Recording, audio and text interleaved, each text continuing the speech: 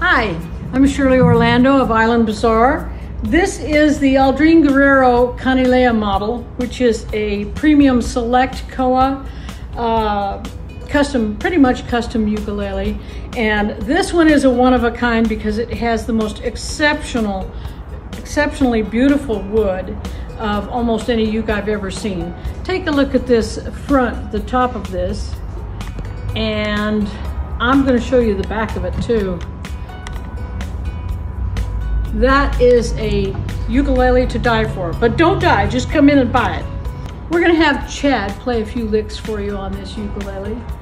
It, as I said, it's a koa top, koa back and sides. I believe that's an ebony fingerboard with the uh, Aldrine Guerrero um, logo in there, and also the Sands of Kailua embedded in the peg stock. Beautiful small pegs here for the ukulele. And uh, listen to Chad play a few licks for you.